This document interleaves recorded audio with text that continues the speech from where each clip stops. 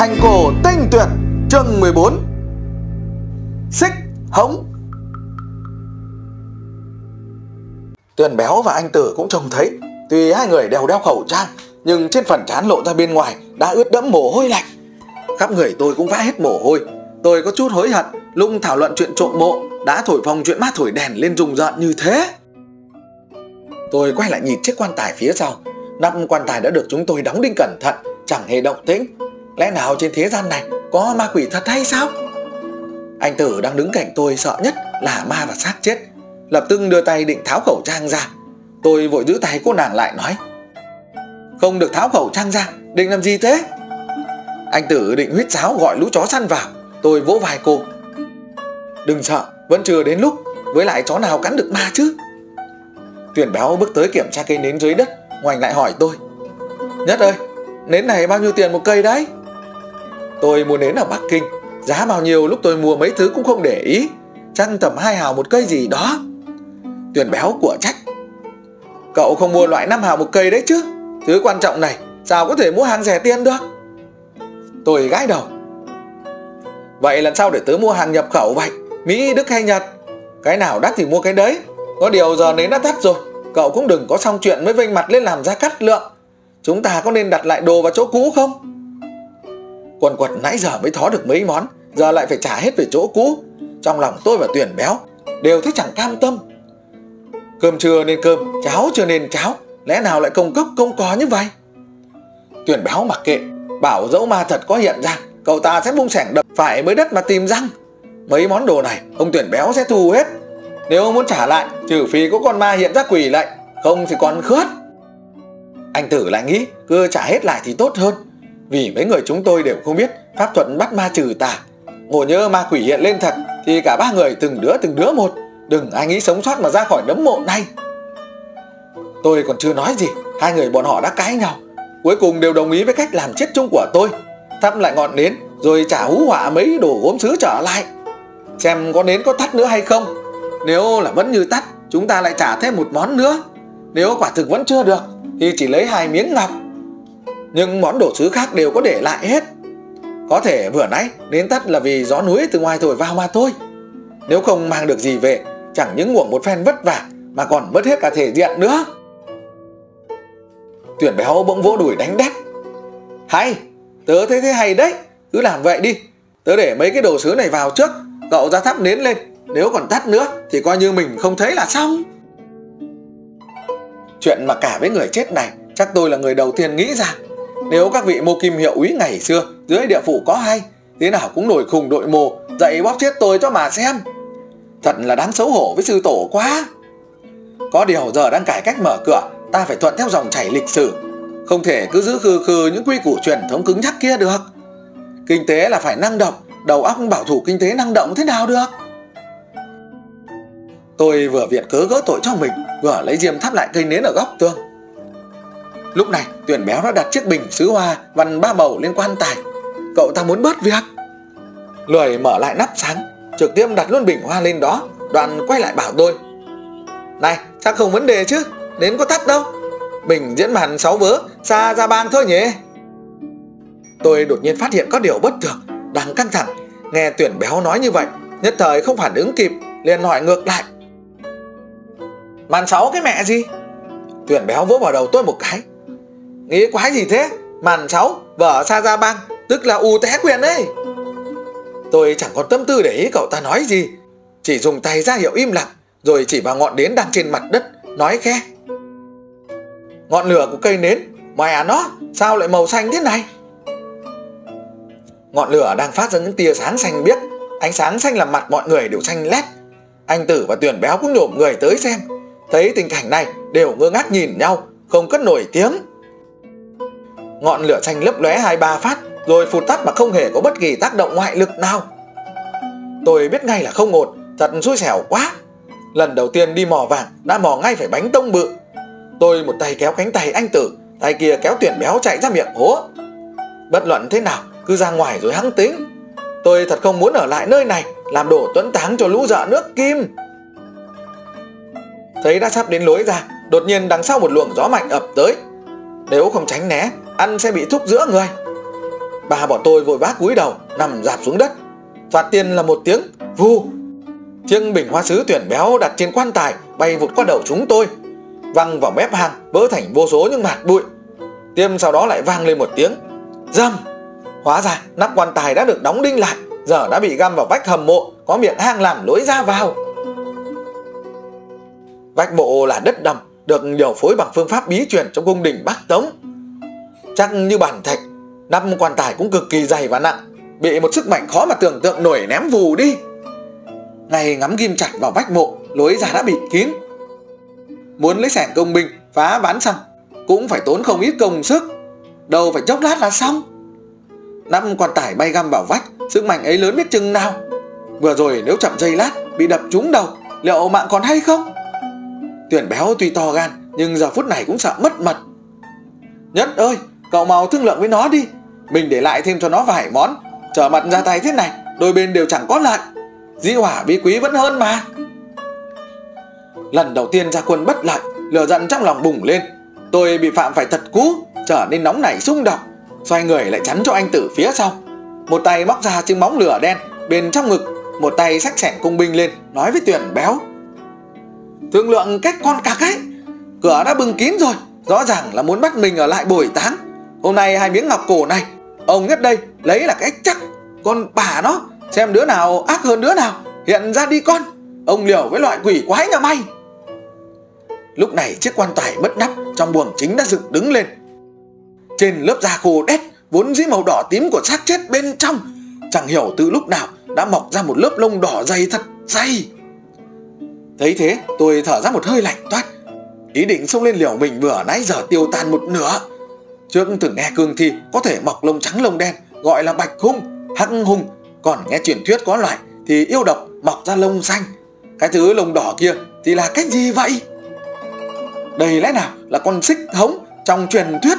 Loại mãnh thú sinh sống trên thảo nguyên Mông Cổ này Mình cứng như sắt, thích đảo hang ở dưới đất. Giờ không còn nhiều nữa. Chỉ được nghe đồn đại về nó mà thôi. Lẽ nào, ngôi mộ này chính là ổ của nó? Lần này quá sơ suất, Vốn tưởng cái mộ nhỏ thế này Chỉ cần tránh khỏi lớp bẫy bên trên là xong. Ai ngờ rơi xuống đây lại gặp bánh tồng lông đỏ bự. Chúng tôi không mang súng săn, Cái lô đảo ra thì giờ bị bịt kín như bưng thế kia. Chẳng thể nào gọi lũ chó săn đến trợ giúp được. Chó săn và súng săn là những vật phòng thân quan trọng nhất trong rừng sâu. Vậy mà giờ chỉ có thể dựa vào chiếc sẻng công binh kiểu Đức và bóng lửa đen để đấu với nó một phen mà thôi. Còn xích hống lông đỏ khắp cả mặt, không thể nhìn rõ diện mạo thế nào. Lông xù lên, từng đám như một con đuổi người lông đỏ. Hai cánh tay nó rung lên, từ trong quan tài nhảy bật ra, nhảy một cái đã xa tới hơn 2 mét. Không một tiếng động mà ập tới nhanh như gió, chỉ vài bước đã nhảy đến trước mặt chúng tôi, vươn 10 cái móng sắc nhọn như dao bổ tới. Không ngờ động tác của con xích ống này lại mau lẻ đến vậy. Tình thế bây giờ ngàn cân treo sợi tóc, Không hơi đầu đắn đo gì nhiều. Trong đấu trường hẹp, không có chỗ lùi chân, Chỉ có thể tiến lên nghênh chiến, Lấy công làm thủ Tôi và tuyển béo đều chung một suy nghĩ, Kệ xác nó là cái con mẹ gì, Cứ đập bẹp cho nó ra rồi tính tiếp. Cả hai cùng hô vang một tiếng, Rồi vung sẻng công binh lên, Lao vào bổ đầu răn mặt con xích ống Động tác của con quái vật nhanh như chớp, Hai tay quét ngang. Chúng tôi thì thấy tay mình bị một sức mạnh to lớn quật vào lòng bàn tay tê dại không thể nắm lại được nữa.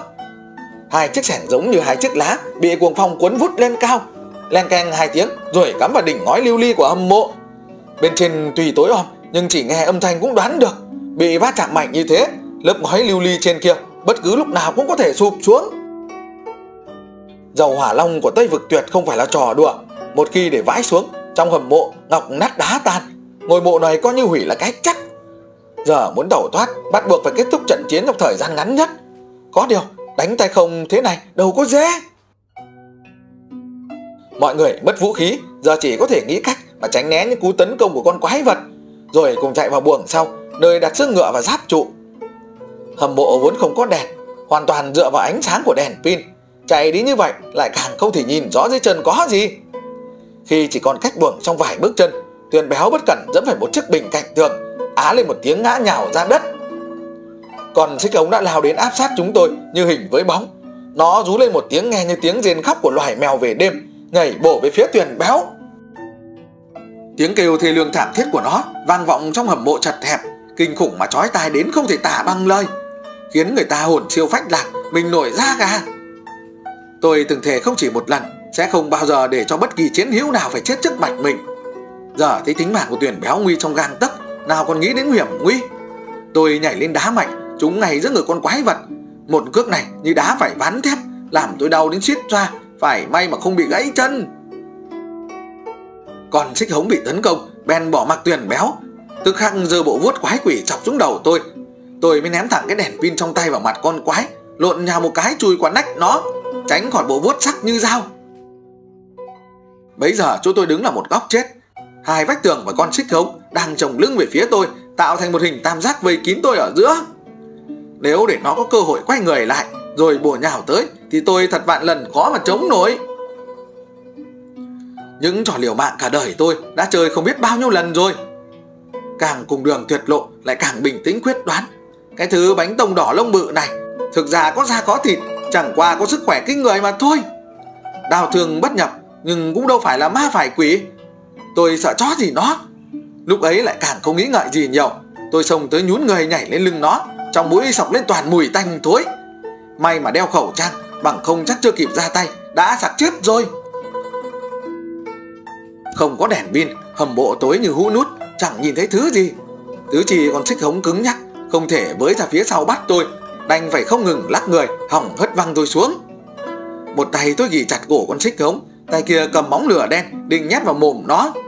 Tôi ấn loạn trên mặt nó mãi mà không thấy mồm đâu. Ngược lại, nó lắc cho hoa mắt chóng mặt. Nhầm nhủ không ổn, chỉ lắc thêm vài phát nữa là tôi rơi xuống mất. Trong cái bóng tối bỗng lóe lên ánh đèn, tôi cứ ngỡ là mình hoa mắt. Định thần lại nhìn, hóa ra tuyển béo và anh tử đang ngậm đèn pin trong mồm. Hai tay vác một cây lang nha bổng xông từ trong buồng trong. Bọn họ định hiểu mạng chắc. Tôi vội nhảy khỏi xuống lưng con xích hống.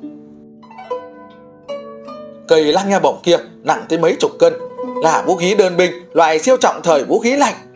Lúc mới vào trong cổ mộ, chúng tôi thấy nó với mấy thứ binh khí khác, cùng giáp trụ, xương ngựa đều chất cả trên sàn buồng sau. Đoán chừng đều là vật thường dùng của chủ mộ khi ra trận lúc sinh thời. Trên những binh khí này tuy đã mọc đầy mốc xanh, nhưng lang nha bổng không phải loại binh khí dựa vào mũi nhọn sắc bén để sát thương địch. Thuần túy là dùng sức mạnh lợi dụng trọng lượng để tấn công kẻ địch. Anh Tử và Tuyển Béo lần lượt ở hai bên phải trái, bốn cánh tay nâng lang nha bổng. Coi như chày kình đánh chuông chùa, thúc mạnh vào ngực con xích khống. Lang nha bổng hàng chục cân cộng với sức đẩy do hai người chạy tới, xung lực quả thực không nhỏ. Huỳnh huỳnh một cái, làm con xích khống ngã lộn xuống đất. Cú húc vừa rồi, cả hai người họ dùng quá sức, mệt bở hơi tai. Tôi dường như nghe thấy cả tiếng đập thình thịch rội ra từ lồng ngực họ. Tôi đứng bên cạnh khen, Đánh hay lắm, không ngờ cô chú lại khỏe thế. Lúc về anh tính công cho. Vừa dứt lời, Con xích hống từ dưới đất đã bật người lên như lò xo. Tôi cao giọng chửi lớn. Mày à mày Tưởng đốt không xém, Chém không chết à? Tuyển béo đâu, Oánh cho nó một phát nhớ đời xem nào Đập thẳng vào đầu nó. Tuyển béo điên lên, Cú này chẳng cần anh tử giúp sức. Một mình vẫn hết sức bình sinh, nhấc cây la nha bổng lên, Cắm thẳng về phía con xích hống. Nào ngờ, lần này chẳng thành công. Đúng lúc con xích hống nhảy trồm tới Và chạm vào cây lát nha bổng, Văng vào buồng sau. Tuyển béo cũng bị ngã dọc cả mông. Hai lòng bàn tay rách toác, Đau đến gào lên oai oái. Tôi mới thầm tính toán Sẻng công binh đã gầm lại trên nóc mộ. Nếu muốn đập cái nắp quan tài bịt kín lối ra kia, Vừa hay có thể dùng lan nha bổng mà đập. Vào buồng trong lấy lan nha bổng trước, Đánh lạc hướng con xích hống, Đập vỡ nắp quan tài trông ra. Bên ngoài trời cao đất rộng, Lại có chó săn súng săn, Quần thảo thế nào cũng được ở trong hầm mộ chật hẹp thế này, Sao mà giờ ra được? Tôi kéo tuyển béo đang ngồi bẹp dưới đất dạch Ba người chạy vào buồng sau với ngôi mộ cố Buồng sau chính là gian phụ, So với gian chính còn thấp hơn một bậc. Tôi vừa bước xuống, liền dùng đèn pin soi bốn phía xung quanh. Chỉ thấy lang nha bọc bị sức mạnh khủng khiếp của con xích gống Văng đập vào vách tường, Tạo thành một lỗ hồng lớn. Sao là lỗ hồng mà không phải đường nứt? Lẽ nào phía sau còn có không gian nữa hay sao? Từng nghe một số mộ cổ bên trong còn giấu hầm mộ khác. Phải chăng đây chính là một mật thất? Lần này đúng là quét mắt nhận cũng không ra rồi. Bên trong cái lỗ do cây lang nha bổng tạo ra trên tường tối đen kịt Đèn pin soi vào chỉ thấy sâu thăm thẳm Dường như không gian rất rộng là một đường hầm khá dài.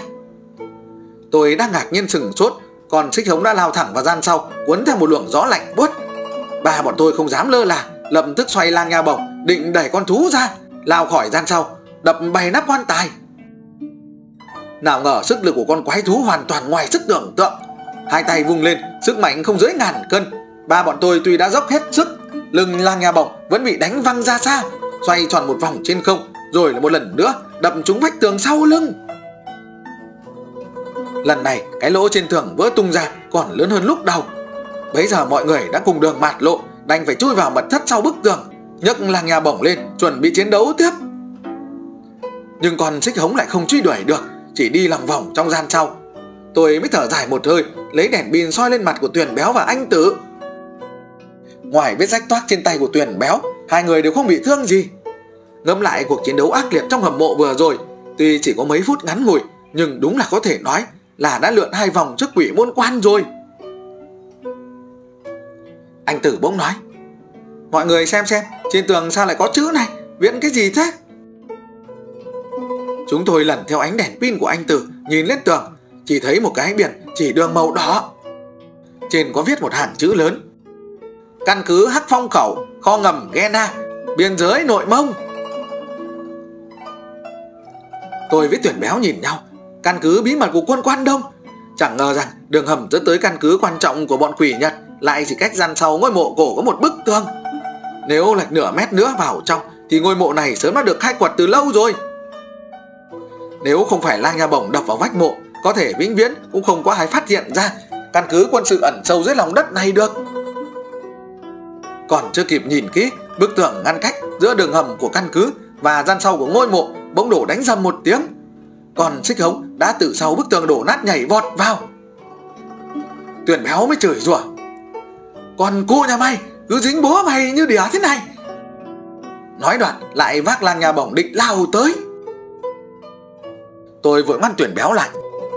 Đừng liều với nó làm gì, Tìm đường chạy đã, rồi tính cách sau.